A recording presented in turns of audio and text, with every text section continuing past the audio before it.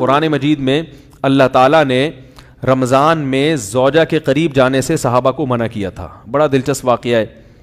رمضان کی راتوں میں بھی زوجہ کے قریب جانے سے منع کیا تھا۔ ایک صحابی تھے، وہ رات میں کہیں چلے گئے۔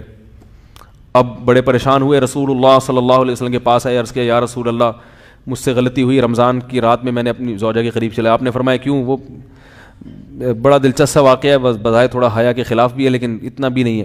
وہ کہہ رہے میری زوجہ کہیں پانی بھرنے کے لیے جا رہی تھی، ان کی پنڈلی کھلی، تو میری نظر بیوی کی پنڈلی پر پڑی اور میں بس پاگل ہو گیا بیوی کے عشق میں۔ میں یہ اس لیے بیان کر رہا ہوں کہ جو لوگ نظر کی حفاظت کرتے ہیں، وہ بیوی کے عشق میں پاگل ہوتے ہیں۔ جو دن رات انٹرنیٹ پر پنڈلیاں دیکھتے رہتے ہیں، انہیں بیوی کی پنڈلی بھی، کیا شکل بھی اچھی نہیں لگتی ان کو۔ بد نظری کا یہ عذاب ہے، وبال ہے کہ جو اللہ نے گھر میں آپ کے لیے بٹھائی ہے وہ آپ کو اچھی نہیں لگے گی۔ تو نظر کی حفاظت کیا کرو، اس سے آپ کو اپنی بیوی سے عشق ہوگا، محبت ہوگی۔ بات آ رہی ہے سمجھ میں؟ تو اب دیکھو کیسا روزے کی حالت ہے۔ رمضان میں پابندی ہے، اسلام میں حکم تھا، جو رمضان میں بیوی سے ہم طریقہ کا ساٹھ روزے لگاتار رکھنے پڑیں گے۔ کتنا بڑا جرم۔ لیکن صحابی سے برداشت نہیں ہوا۔ صرف زوجہ کے پاؤں پاؤں پہ نظر پڑی ہے۔ تو وہ کیسے بیوی سے محبت کرتے ہوں گے اور وہ بیوی کے بغیر رہ سکتے رہ سکتے ہوں گے؟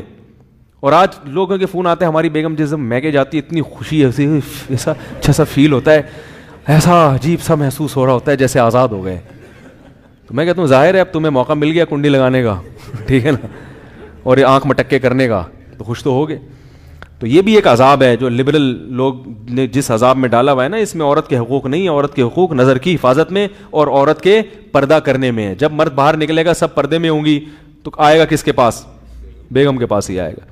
تو اتنے منہ کالا کرنے کے راستے کھول دیے ہیں، تو ظاہر ہے پھر کامیاب اس زندگی نہیں ہوتی۔ تو نبی کے پاس آئے، عرض کیا، یا رسول اللہ، میں برداشت نہیں کر پایا۔ تو آپ مسکرا دیے۔ تو آپ صلی اللہ علیہ وسلم نے فرمایا، ساٹھ روزے رکھو لگاتار۔ انہوں نے فرمایا، ایک کی طاقت نہیں ہے، اس میں یہ ہو گیا، ساٹھ۔ بھائی، کیسے رکھوں گا؟ نہیں ہے طاقت ساٹھ۔ آپ نے فرمایا، ٹھیک ہے، پھر ساٹھ غریبوں کو دو ٹائم کا کھانا کھلاؤ۔ فرمایا اس کی بھی طاقت؟ بولو بھائی، نہیں۔ اتنے میں ایک صحابی لائے کوئی چیز صدقہ کرنے کے لیے۔ تو آپ نے فرمایا، چلو اصل حکم تو یہی ہے کہ ساٹھ روزے یا پھر ساٹھ غریبوں کا کھانا، وہ نہیں، تو چلو فی الحال ان کو تمبی کے لیے کچھ ان کے سے صدقہ صدقہ کروا لیتا ہوں۔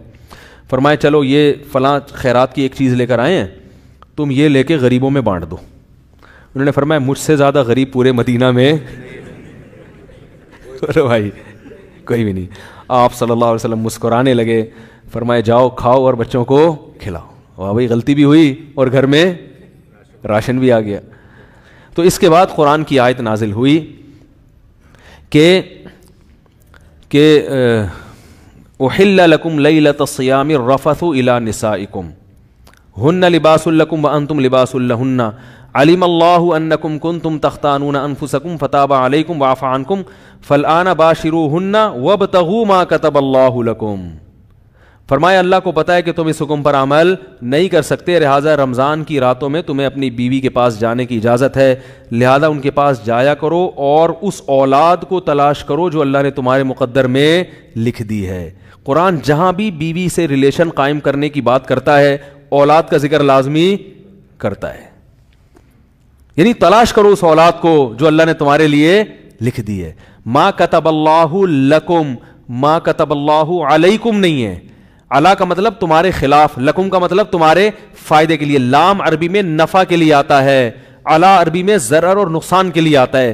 فرمایا، یہ نہیں کہ اس اولاد کو تلاش کرو جو بطور پینلٹی کے اللہ نے تمہارے متھے لگا دی ہے، جو اللہ نے تمہارے فائدے کے لیے لکھ دی ہے۔ اس سے پتہ چلتا ہے اسلام اولاد کی کثرت پہ کس قدر حریص ہے۔